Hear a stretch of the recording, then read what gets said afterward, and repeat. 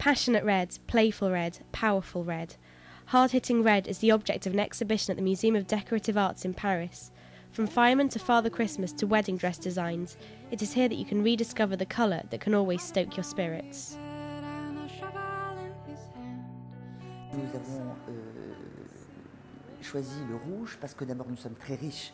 We chose red because we have a wide variety of color in our collection, and also because art historians were often criticized to not have done enough work with the color through objects, nor to have come to conclusions about the history of the color, the social and cultural history.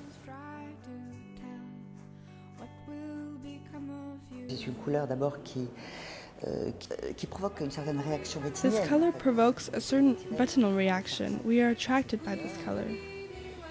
Because when we work on the history of the color, we work on the history of fixing the color, the history of the dyes, the techniques we are working with. We also work with the fact that the color red provokes a bloody tension and reaction between our brain and the object we are looking at.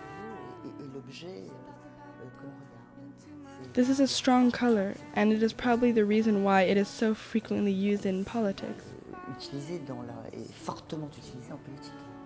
Nous allons du rouge pouvoir, du rouge luxe, du rouge We go from the red of the power to the red of the luxury to the voluptuous red, even the red of prostitution, the unbearable red, the red of the Holy Ghost, the breath and the light, the red of the sacred, and the red of the intimacy,